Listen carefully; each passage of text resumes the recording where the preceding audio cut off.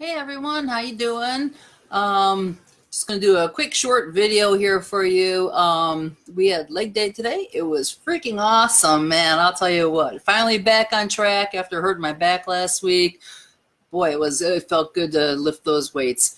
Anyways, um, real quick, uh, Warrior Dash is Saturday. Those that are doing the dash with us, good luck. If I don't see you beforehand, um, and the newsletter this week's newsletter. Hey Tom, how you doing?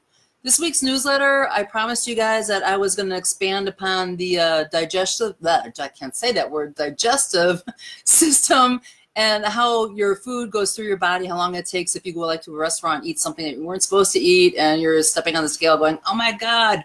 Um, yeah, so I, I, expanded on that. And there's an awesome, somebody wanted a Cocoa Puff uh, recipe, and I tried it out. I got it down pat.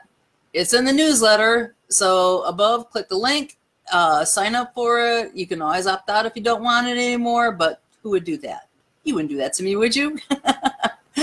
Anyways, um, today I wanted to talk to you guys. Uh, we were talking in the gym about um, food triggers.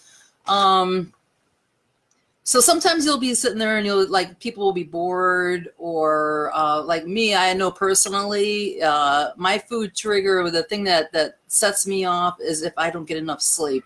If i'm tired boy i could eat everything in the refrigerator. It doesn't matter what it is i'm going to eat it. Um, but once you get to that point whether you're bored or whatever um, a, a, trigger is basically your your food that sets you off course for overeating. Um, personally, I don't keep that stuff in my house, but I'll like eat anything. So it's just like, oh my god, I'll just if I if I get to that point, I just have to have something. I have to go to bed. That's what I have to do. But anyways, um, when you get to that point, uh, lots of people they like the the sweet, the salty. They go for the uh, snacky type things. Um, but once you actually start eating it, what happens is it starts engaging your senses, and your nervous system actually tells your body to release insulin and you get a drop in blood glucose and it makes you want more food. Your stomach starts going, oh my God, I'm hungry, which then you start, you just really indulge and you overeat. It's like the binge eating. Um, so we were talking in the gym today. The best way you can stop it is to st- just basically stop it for before it begins. Like I said, when I get overtired, I just go right to bed. I'm like, I know I'm going to go to the refrigerator. I know I'm going to eat whatever is in there. It Doesn't matter what it is so I just go right to bed and I go to sleep. Um, some of the other things that you can do is say like if you have a couple bites and you go, oh my God, you know, I just had like three bites of chocolate bar. What am I doing? Um, stop yourself, stop yourself in its track.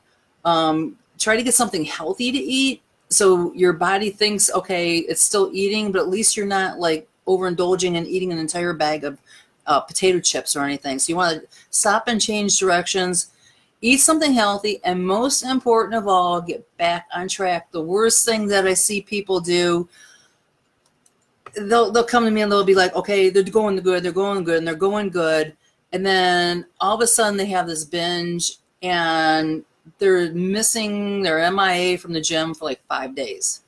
And the third day, I'm texting them, I'm emailing them, I'm Facebooking them, where are you, where are you, where are you? And I found out they just went on this binge. They stopped their nutrition completely. They've been eating left and right. The 20 pounds that they lost and now gained back 12, and they're freaking out. So the best thing you could do, so you screwed up, you know, just jump right back on your nutrition and start over. And like I said, when you read the uh, newsletter with the digestion, it's going to take a couple days for that to go off of you, but that's okay as long as you get back on track. So that's what I wanted to talk to you about. That was about it. I got a ton of things to do uh, before I go to bed tonight, and we have our uh, festivities for the weekend. So um, I will talk to you guys tomorrow. You have a good one, and see you later. Bye.